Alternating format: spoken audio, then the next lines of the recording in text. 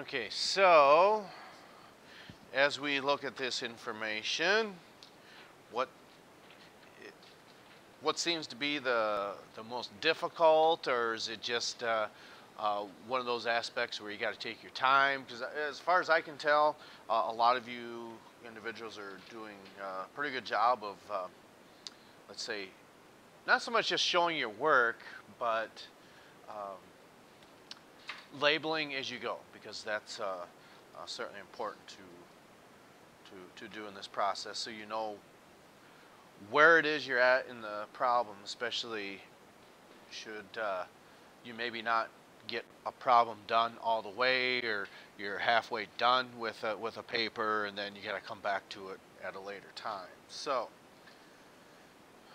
is there something that that uh, sticks out in your mind? The limiting reactant or what might stick out in your mind?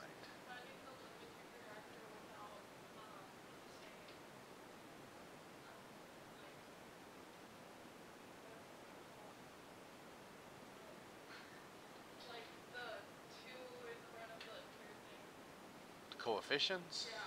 Okay. So, well, let's look at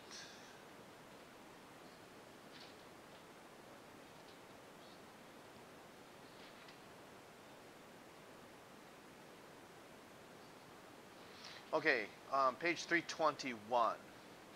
321 and it's number 26. Okay? And it's under limiting reactants and percent percentage yield uh, section.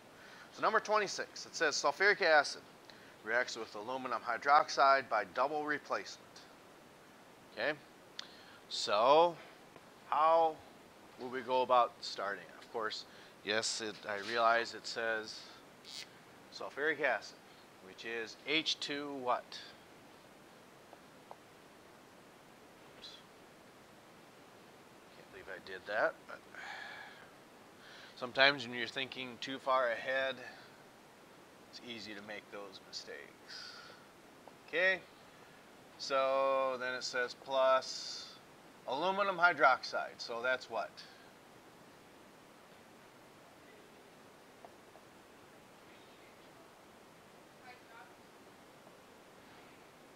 Okay, so notice this is negative 2, that's plus 1, so that's that compound's done already. So we'd always say go by the negative ion, but you can go by the positive one here because it's not a transition metal. It only has one specific charge. So hydroxide has a charge of negative what? Okay. So it's negative 1, and aluminum is positive what? Okay, so since that doesn't add up to 0, what do we need to do? Okay. Let's put a 2 there. Yeah, so, so 3. So here's our double replacement reaction. All right. So do you want to start with hydrogen or aluminum? We always write the positive ions first. Okay, so what does hydrogen bond with on this side? Okay, so you could write water or you could write OH. Okay.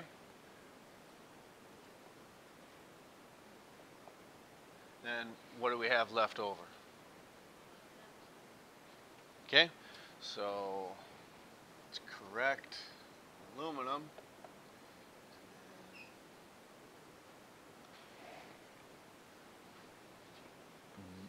Which, do any of these subscripts go over to that side for sure?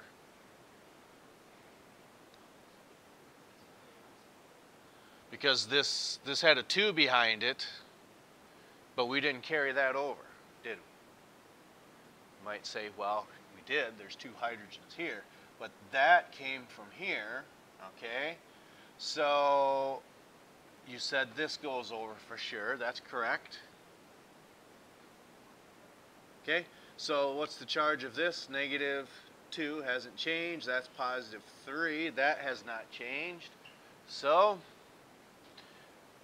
that does not add up to 0. Okay? Least common multiple was 6. 6 divided by 3 gives us 2. 6 divided by 2 gives us 3. That's where they come from. So we've got our reaction. Next thing we need to do is what? Okay. So, do we need to write them out underneath the arrow or is it one of them you can do in your head? Okay. So usually the best place to start with those is metals, usually. So we've got two aluminums on the right. How many are over here? So let's try putting a 2 here. Okay. Aluminums are balanced. And how many hydroxides are on this side now? Okay, because 2 times 3 gives us that 6. And how many hydroxides are over here? We just have one.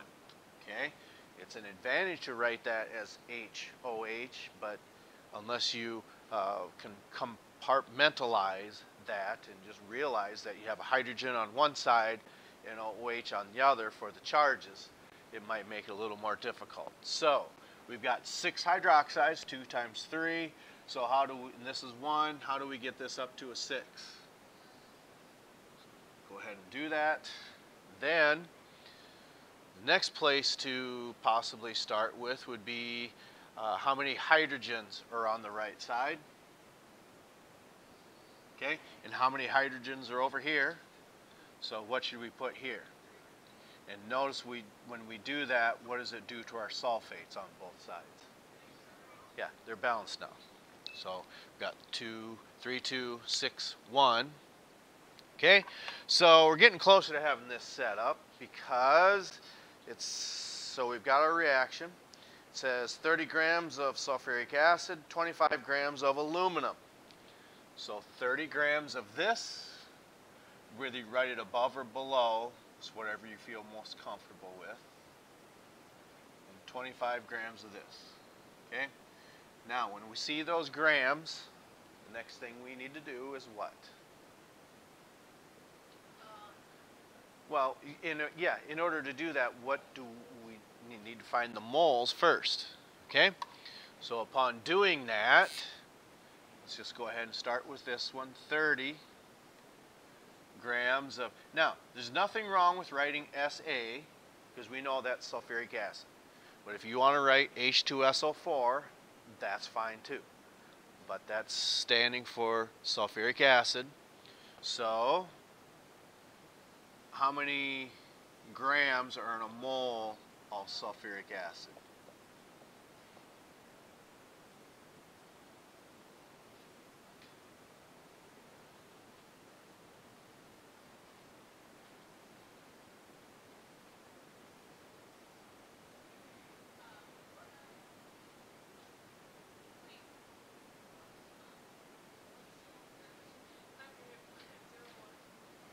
Yes, 98.01. Yeah. Is that right? You believe so? Okay, well, that's 64. 97.03?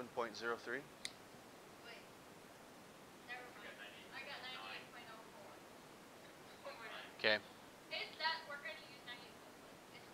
Okay. Well, you can. Point zero four. We'll meet in the middle then. Point zero four. Okay. So now that gives us our mole. Now, do we have to refer back to the equation here? No, we do not because it's not a what yet? It's not a mole to mole ratio. Okay? So upon doing this, we take 30 divided by 98.04, and that gives us 0.31, correct? And we'll go ahead and leave. Sometimes if you don't get a clear and concise answer, some sometimes you may need to extend that out. But moles of sulfuric acid. Now, this is what we actually what? That's what we actually have. Okay? Yes, we've got 30 grams worth, but it's not a counting unit. So we need to realize this is what we have. Okay? So, next thing we want to do is take our 25 grams of aluminum hydroxide then. Okay? So 25 grams of aluminum hydroxide, AH, okay? this marker's maybe just about had it. Okay. So for every mole, oh, so was that one. That's probably why I got them set down there. Okay. Grab a different marker here. Try this guy, brand new. Okay, then how many grams of aluminum hydroxide? Oops. What was that? 43.444, okay. Moles of aluminum hydroxide, okay. And then 25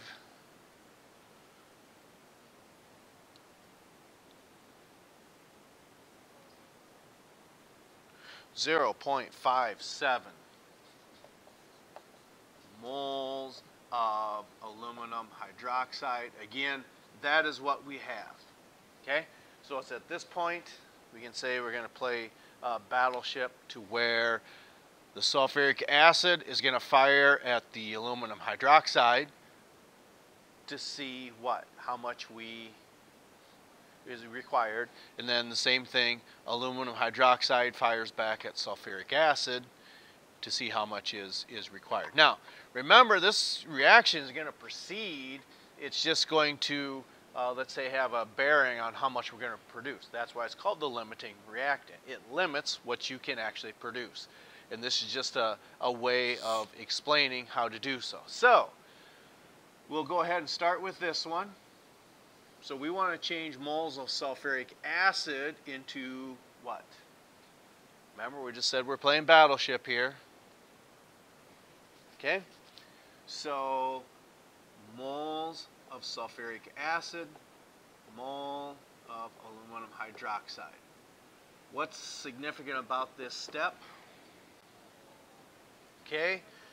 So when we see a mole to mole ratio, we look back at our equation and we need to put a 2 and a 3 there, but which one goes where? Okay? And and again, these just come back from our balanced chemical reaction.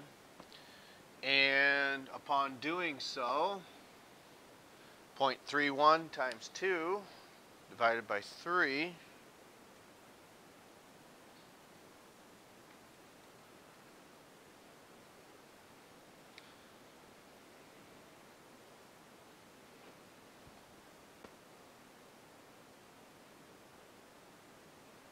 0 point, okay, and 2, 1 mole of aluminum hydroxide is, I thought I heard, I'm hearing things, okay. Aluminum, now this is what three letters did we put? REQ, are required, okay? So just somewhere here, Okay, so for our aluminum hydroxide, we had 57 cents. How much is required?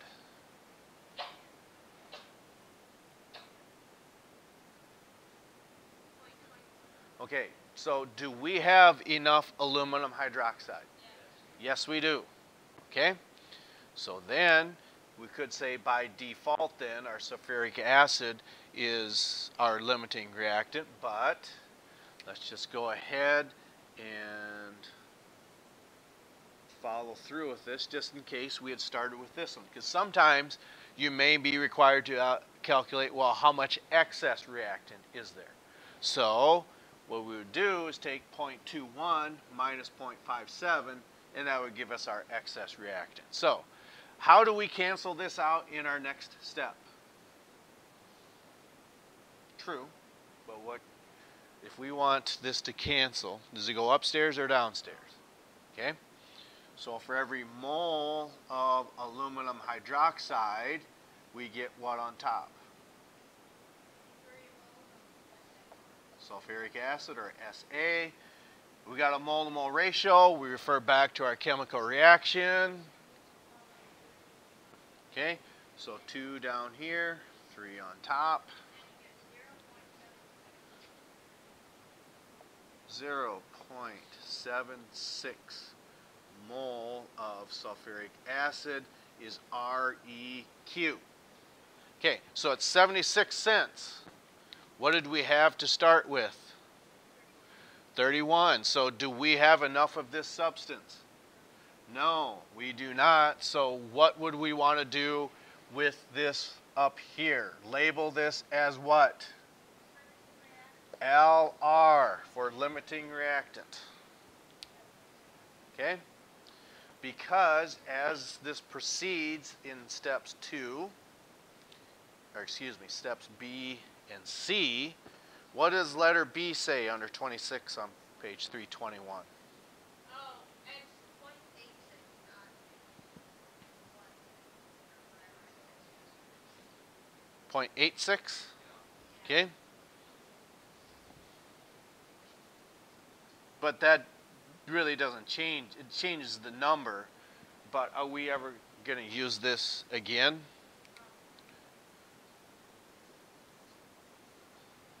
You're, you're correct. Why, why do we not ever use this again? we're, we're, we're saying how much we actually need, or it's going to tell us which one runs out first, if you want to call it that as well. So therefore, that tells us this is our LR. Sulfuric acid is our limiting reactant. But on page 321, number 26, what does letter B say?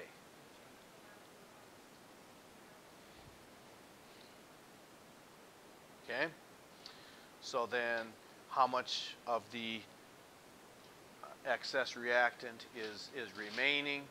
Well, we can go back and, and do our, our backtracking. And remember, we said, what would we do with these two numbers? We would subtract them, okay? And we would get 0.3, 0.3 what, 6? Then you could take that 0.36 moles of this and convert it to grams. That's one way of doing it, okay? But typically a lot of these questions will ask, well, how much excess reactant is remaining? Then that's what you do. You would subtract them two. But this one says, let's go one step further and take that 0.36 and convert that back to grams. But we're not concerned with that. We're going to move on to step C or letter C, and what does it say?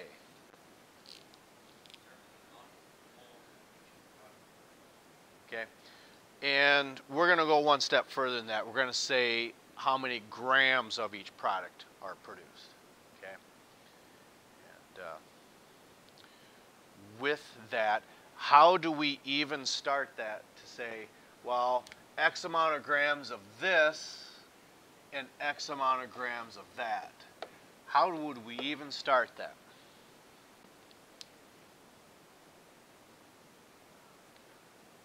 You do need to start with the limiting reactant. And you can start it one of two ways.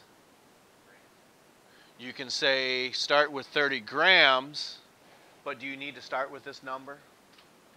No, you can eliminate a step by saying we've already converted this to moles. So are we looking at this mole or uh, this one? Yeah, we want to do what we actually have. Okay? So even though it says that in the book, we'll just go ahead and write the answers down. But we're more so concerned uh, with the, the grams produced. So it's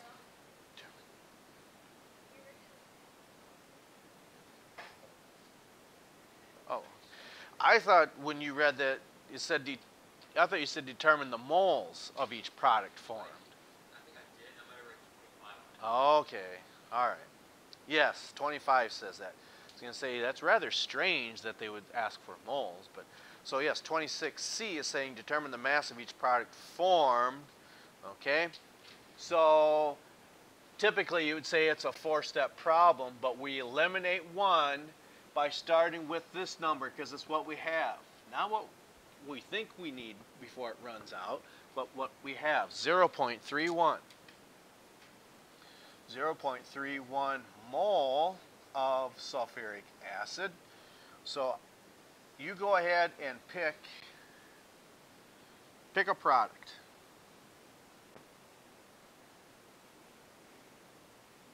Okay, so water.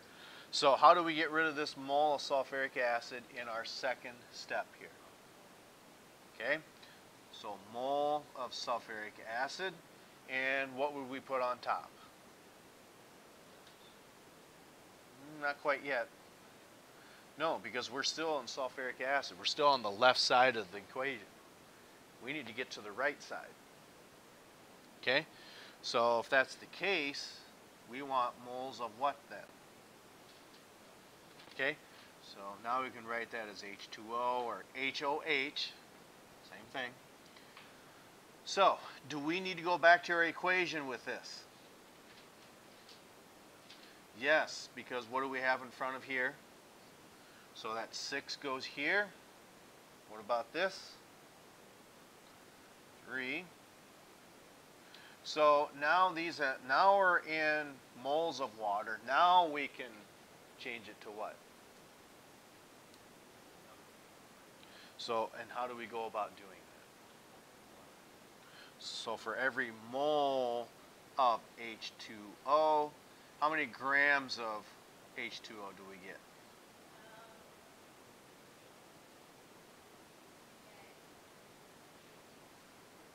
Okay, so what I'm going to do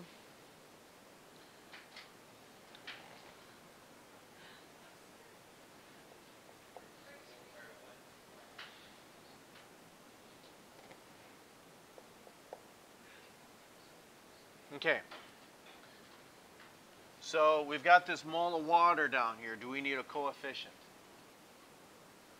No, because this is not a what? It's not a mole to mole ratio like this step is. So these have canceled. We are now in grams of water and that's what we want. So up in that upper right hand corner, I wrote 30, 34.9 and 11.0. Which one of those is correct?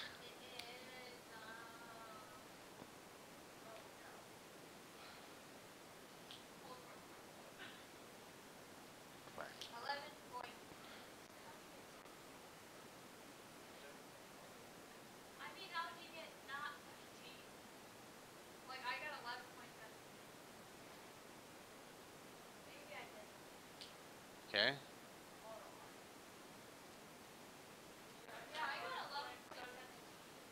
Okay.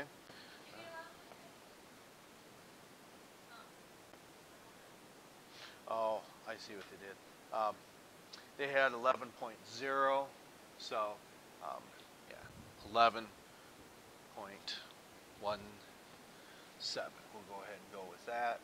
Okay, so how how is it that we, what would we have to do? We have to change a whole lot of information in here. No. Really, the only places we need to change would be here. Because rather than grams of water, we want grams of what instead? So aluminum sulfate. So this is not a mole of water anymore. It is a mole of aluminum sulfate. And then what about here? Do we need to change the bottom? No, because we're still starting with our same amount here. So rather than a 6 here, there should be what? Just a 1, because we've got a 1 up here. So go ahead and do that as well. Mole of aluminum sulfate. Okay? So if we take 0.31 times, well, whatever this is, 0.05, I heard that. 103. Didn't you say 0.05?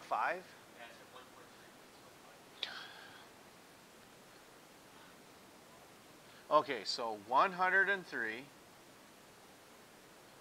123, 123. Okay. So go ahead, take 0.31 times 123, divide by 3. You get twelve point seventy.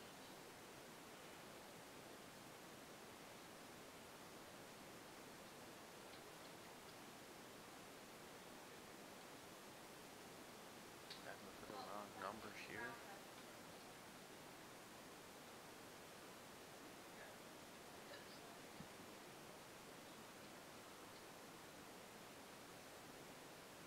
Really? Wait, is that not right? No. Because what's the atomic mass of oxygen? You didn't triple that, did you? You don't triple the aluminum. Okay? All right.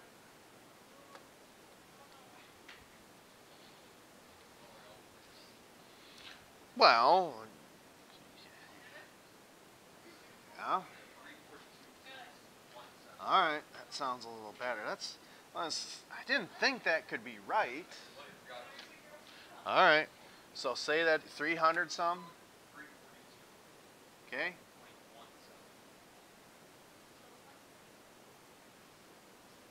Time.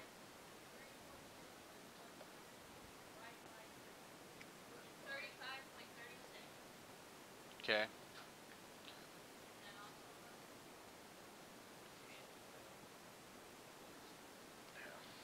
Well, what we see happening here is some they this might have been extended out a little further. Okay, so we are doing these correctly. So if we said, well, we got 15 minutes left, which which we don't, say we're going to start our problem quiz now. No. Why is that? Because this takes a lot of It, it, it does. So it, it, it's a, it is attention to detail. Okay? So we have a problem quiz two tomorrow. So let's be ready to go. If you have any problems, please get in and talk to me. So, or is there another one you'd like to go over, or do you just want to sit and self-reflect and? I'll self-reflect on this problem. Okay. All right. Fair enough. Be ready to go tomorrow, and it's Friday.